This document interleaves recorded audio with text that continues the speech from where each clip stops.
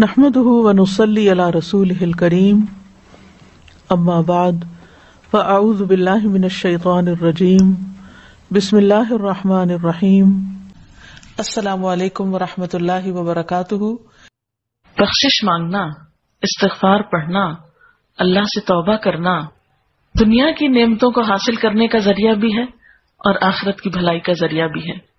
سورت نوح میں اللہ سبحان و تعالی فرماتے ہیں حضرت نوح علیہ السلام نے اپنی قوم کو استغفار کرنے کو کہا اور کیا کہا؟ فقل تستغفر ربکم میں نے اپنی قوم سے کہا کہ اپنے رب سے استغفار کرو، اپنے رب سے معافی مانگو۔ تو نتیجہ کیا ہوگا؟ انہو کان غفارا۔ بے شک وہ بہت زیادہ معاف کرنے والا ہے۔ یورسل السماء علیکم مدرارا۔ تم پر آسمان سے خوب بارشیں برسائے گا۔ آسمان کو تم پر برسنے والا بنا دے گا۔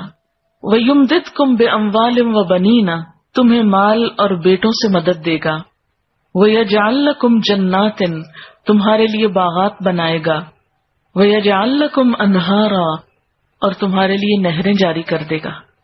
آپ دیکھیں کہ ایک انسان کی خواہش کیا ہوتی؟ کہ اس کو کیا کچھ ملے؟ یعنی رہنے کا مقام اور حالات جو ہیں وہ پرسکون ہو پھر اس کے بعد یہ کہ مال ہوں، بیٹے ہوں، باغ ہوں اور زندگی کی اور آرائشیں اور نعمتیں ہوں۔ یہ ساری چیزیں کہاں سے ملتی ہیں؟ کیسے ملتی ہیں؟ استغفار سے ملتی ہیں۔ عام طور پر لوگ پریشان ہوتے ہیں، دکھی ہوتے ہیں۔ مثلا ایک شخص ایک بزرگ کی محفل میں آیا اور اس نے کہا کہ میرے حالات بہت تنگ ہیں، مجھے بہت پریشانی ہے، میرا رسک بہت تنگ ہے، تو آپ مجھے کوئی وظیفہ بتائیے۔ تو انہوں نے اس کو کہا کہ کثرت سے استغفار پڑھو۔ دوسرا آیا، اس نے کہا، بچوں کی شادی نہیں ہوتی تو آپ نے اس کو بھی کیا بتایا کہ کثرت سے استغفار کرو۔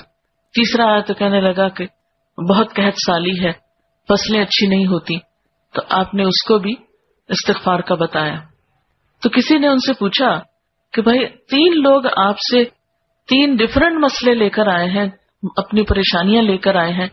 آپ نے تینوں کو ایک ہی چیز بتائی ہے تو اس پر انہوں نے یہی سورت نوح کی آیت پڑھ کر سنائی کہ دیکھو، یہ قرآن میں اللہ کا وعدہ ہے اور اللہ کا وعدہ سچا ہے۔ اللہ تعالی کی بات سے بڑھ کر سچی بات کس کی ہو سکتی ہے؟ ہمارے پڑھنے میں کمی کو تاہی ہو سکتی ہے، لیکن اللہ کی بات میں کوئی شک نہیں۔ ذالک الکتاب لا رہی بفی یہ وہ کتاب ہے جس میں کوئی شک نہیں۔ لیکن یہ ہے کہ بعض اوقات ہم خود پڑھنے میں کوتا کر دیتے ہیں۔ تو جن کا رشتہ نہ ہو رہا ہو، وہ بھی۔ جن کا ہو چکا ہو اور شادی کے پرابلمس ہو، وہ بھی۔ جن کا ہو چکا اور پھر بچے نہ ہو، وہ بھی۔ ان سب کے لیے ایک ہی وظیفہ ہے، اور وہ کیا ہے؟ استغفار کا۔ پھر اسی طرح ایک اور جگہ پر ایک اور پیغمبر نے اپنے لوگوں سے کہا وسط فرو ربکم تم متوبو الئی ان ربی رحیم ودود اپنے رب سے معافی مانگو اور اس کی طرف پلٹ آؤ۔ بے شک میرا رب رحیم ہے اور اپنی مخلوق سے بہت محبت رکھتا ہے۔ یعنی جب کسی بندے پر کوئی تکلیف آتی ہے، تو ایسا نہیں کہ اللہ تعالیٰ اس پر خوش ہوتے ہیں اور جان بوجھ کے ستانا چاہتے ہیں بندوں کو۔ اللہ تو بندوں کے حق میں بہت مہربان ہے۔ پھر سوال یہ پیدا ہوتا ہے کہ تکلیف آتی کیوں اگر وہ ہم سے محبت کرتا ہے اور وہ بہت مہربان ہے، تو بات یہ ہے کہ کچھ چیزیں ہم اچھے حالات میں سیکھتے ہیں۔ اور کچھ چیزیں ہم ہارڈ شپ سے سیکھتے ہیں۔ کچھ نعمتوں کی قدر ہم اچھے طریقے سے ویسے ہی کر لیتے ہیں اور کچھ چیزوں کی قدر ہمیں اس وقت آتی ہے جب کوئی مشکل پیش آتی ہے۔ آپ دیکھیے کہ اس کی مثال یوں ہی ہے کہ جیسے کچھ کھانے آپ کچے ہی کھا لیتے ہیں، جیسے فروٹس وغیرہ ہیں۔ آپ کو پکانے کی ضرورت نہیں ہوتی، لیکن کچھ کھانے آپ کو پکا کر کھانے ہوتے ہیں۔ اسی طرح زندگی میں کچھ حالات ایسے ہوتے ہیں کہ جن میں آپ آرام سے سیکھ جاتے ہیں یا کچھ باتیں آپ کو بغیر کسی مشکل کے سمجھ میں آ جاتی ہیں، لیکن کچھ باتیں آپ کو مشکل آنے پر سمجھ آتی ہیں۔ اور جس طرح انسان پختہ اور میچیور ہوتا ہے مشکلات میں، آپ نے دیکھا ہوگا کہ جو بچے ہارڈ شپس میں پلتے ہیں، وہ بڑے ہو کر ان میں اسٹیمنا زیادہ ہوتا ہے۔ لیکن جو بچے بہت نعمتوں میں اور نازوں میں پلتے ہیں، وہ اتنے بہادر اور اتنے ہمت والے نہیں ہوتے۔ اس لیے دھوپ اور چھاؤں غم اور خوشی دونوں اس کائنات کا حسن ہے۔ دن اور رات ایک بہت بڑی نشانی ہے ہمارے لیے۔ تو اس لیے جب تکلیف آتی ہے تو اس موقع پر انسان اللہ کی طرف زیادہ رجوع کرتا ہے۔ اللہ کو زیادہ یاد کرتا ہے، زیادہ ذکر کرتا ہے اور اس طرح انسان کے گناہ دنیا میں ہی معاف ہونے لگتے ہیں۔ ایک اور جگہ پر آتا ہے وہ انستخ فرو رب کم سم متوبو الت کم متا انحسنا اور یہ کہ تم اپنے رب سے معافی چاہو اور اس کی طرف پلٹ آؤ، تو وہ تم کو اچھا سامانی زندگی دے گا۔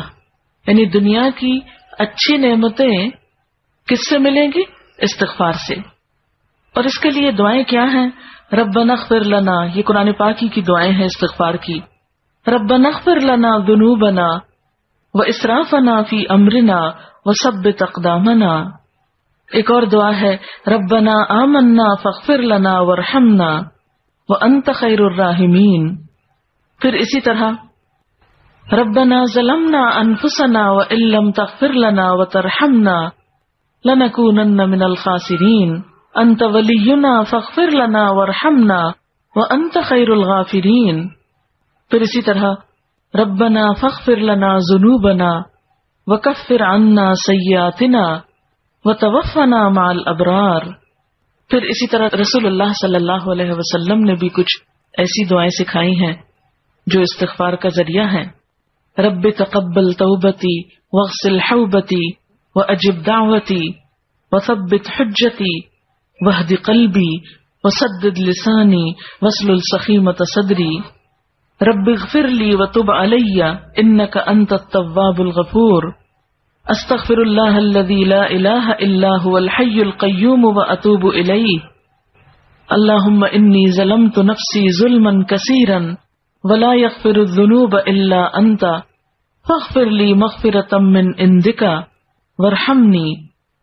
اسی طرح اللهم اغفر لي خطیئتی وجهلي وإسرافي في امری وما أنت عالم به مني. اللهم اغفر لي جدي وهزلي. وہ خطی عتی و آمدی و کل ذالک عندی۔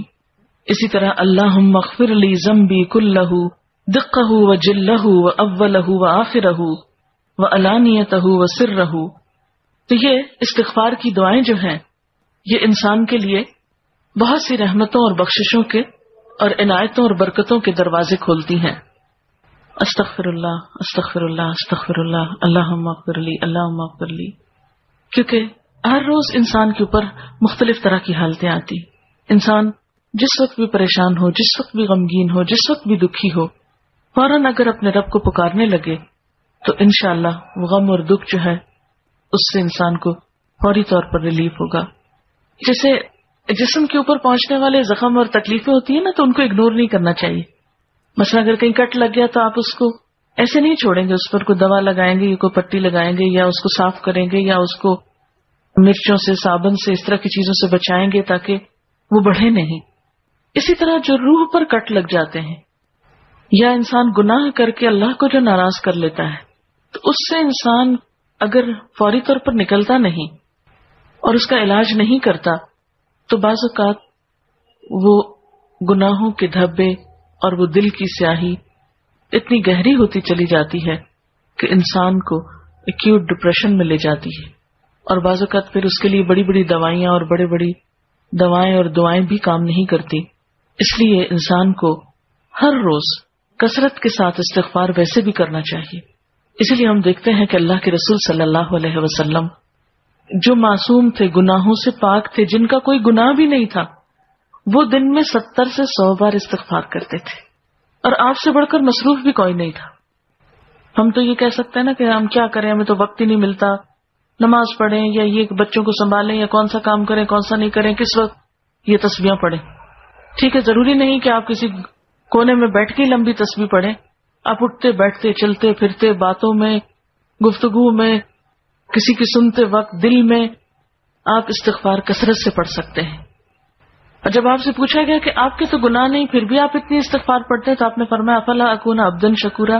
کیا میں اللہ کا شکر گزار بندہ نہ بن جاؤں؟ تو شکر گزاری تو ویسے ہی اللہ تعالیٰ کو پسند ہے۔